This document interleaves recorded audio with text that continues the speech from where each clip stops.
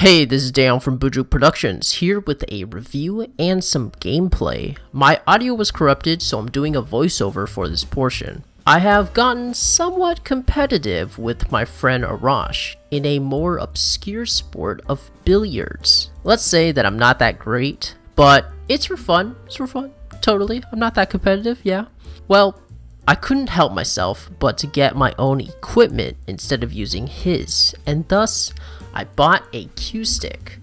Now, cue sticks are usually are priced starting at $100, but this cue I got was only $30, and it came with its own case as well. So, is this worth it? This is the trademark 40T Blue Metallic Blue Titanium Pool Cue Billiard Stick. What a mouthful. Now, taking the description on Amazon, which I will leave a link down in the description below if you want to buy it, this cue is 58 inches long and weighs around 20 to 21 ounces. It is a standard two-piece set and features a slick diamond design. I want to emphasize that compared to the description, it must be said that the cue is still made of wood in the inside. The whole cue is not made of titanium or it's not a full metal cue. The inside is a standard wood cue, most likely made of maple or ash, which is the cheapest. Then the outer layer is a combination of plastic, titanium, and graphite. The bottom is of firm rubber to be placed on the ground safely. The tip of the cue is supposed to be the strongest and is a titanium tip, but I can't be certain as I have never seen titanium look so much like a piece of cork. And it's most likely again another combo of different materials. Lastly, the chalk I bought was a third of the price of the cue stick, and it was separate of course, and is the Predator Pure Blue Chalk coming in a pack of 5. They say that the quality of chalk is very important, so I got the best I could find. And it looks super cool as a hexagon, and sticks well onto the tip.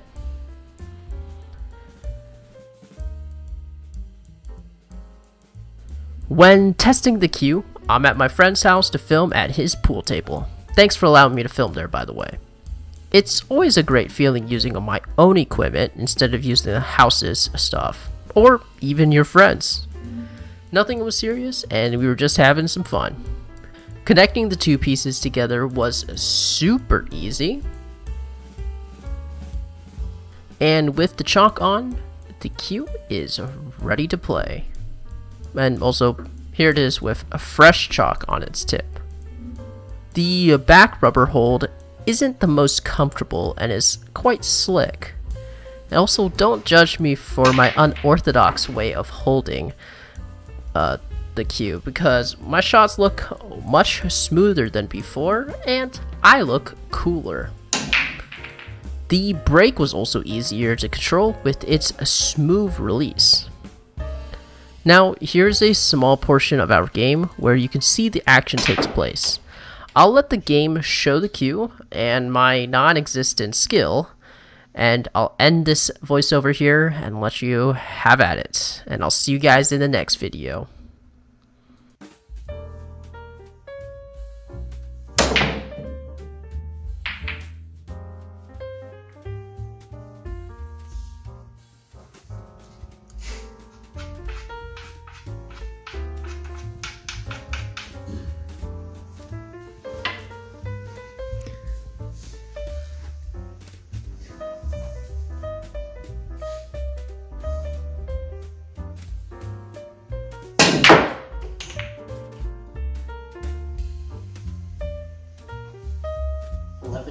11 to get the 10 into that pocket.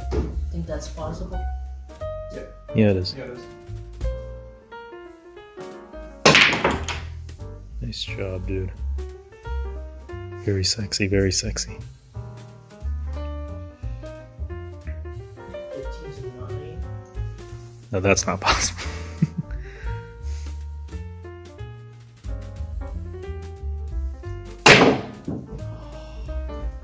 Really Oh, oh, oh.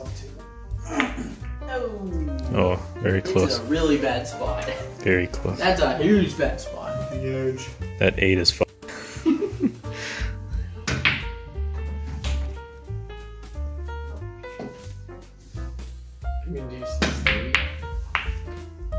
oh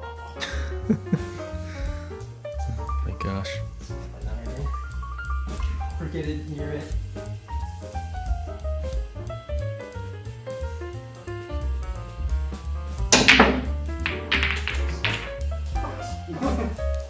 One way to get something. in. Gotta have it gutted out of there, I guess.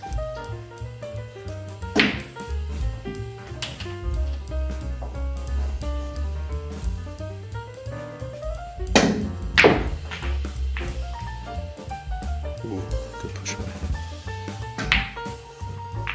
Oof.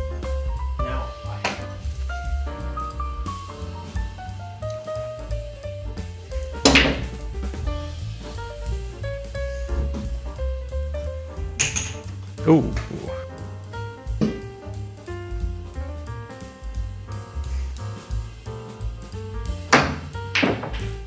Ooh. Very good shot. Very good shot. Very sexy.